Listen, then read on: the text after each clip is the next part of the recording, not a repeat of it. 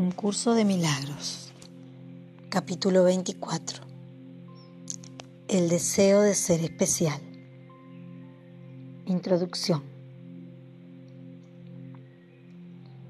No olvides que la motivación de este curso es alcanzar y conservar el estado de paz.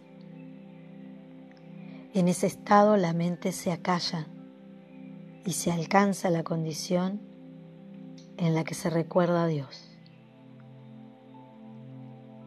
No es necesario que le digas lo que Él debe hacer. Él no fallará. Allí donde puede entrar, Él ya ha entrado. ¿Cómo no iba a poder entrar allí donde es su voluntad de estar? Alcanzarás la paz porque esa es su voluntad. ¿Crees que una sombra puede frenar la voluntad que mantiene al universo a salvo? Dios no tiene que contemporizar con las ilusiones para ser lo que es, ni su Hijo tampoco. Ellos simplemente son. Y qué ilusión que en su vagar parezca flotar e interponerse entre ellos tiene el poder de invalidar los designos de su voluntad conjunta.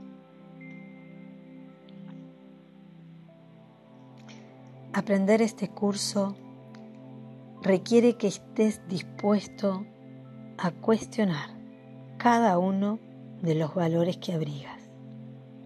Ni uno solo debe quedar oculto y encubierto, pues ello pondría en peligro tu aprendizaje. Ninguna creencia es neutra, cada una de ellas tiene el poder de dictar cada decisión que tomas. Pues una decisión es una conclusión basada en todo lo que crees. Es el resultado de lo que se cree y emana de ello. Tal como el sufrimiento es la consecuencia inevitable de la culpabilidad y la libertad de la falta de pecado. La paz no tiene sustitutos. No hay alternativa para lo que Dios crea. La verdad surge de lo que Él sabe. Y así como toda la creación surgió en su mente por razón de lo que Él sabe, del mismo modo tus decisiones proceden de tus creencias.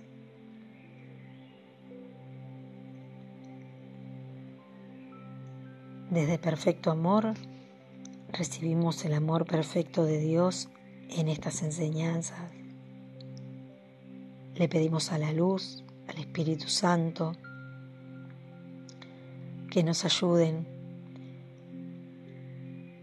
en saber ubicar bien nuestras creencias, que nos ayuden en la decisión de elegir siempre y creer siempre en el camino de la verdad, de la luz, del amor y del perdón.